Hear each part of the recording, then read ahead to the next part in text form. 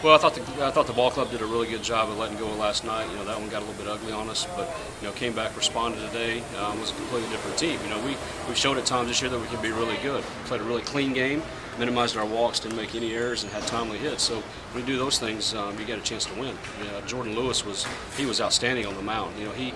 He had, the, he had his breaking ball going, which is the key for him. You know, he, he's really good when he can when he throws breaking ball for strikes and throws fastball around the middle of the plate. And that's what he did today. Well, outstanding. You know, kind of jumbled up a little bit, dropped Grayson down, try to get him a few more pitches to hit. He'd been scuffling a little bit. Bloomberg had been playing really well, and uh, you know, just kind of mixing it up, just kind of mix and match, and kind of going with the hot hand right now, and it seemed to work today. Okay. All right. Uh, I felt really good today. I went out there uh, confident. You know, I wanted to get things going again. I know we were struggling. Um, everything out there was working for me. Uh, all my pitches. Um, you know, location was a little struggle to begin with, but uh, excellent plays being made behind me, and I, I think everybody was starting to get really pumped up.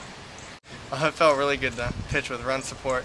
Uh, knowing out, knowing that you go out there and they're going to keep putting up runs, so if you give up a few, you know, on, uh, from bad pitches, it's nice to know that we're still in it. I felt good today. You know, I was uh, they throwing a lot of first pitch strikes, so you know we got out there and uh, we were being aggressive, and we got some key hits in early situations that helped us get out to an early lead. And Lewis, like you said, Lewis went out there and he was he did his job today, and we backed him up.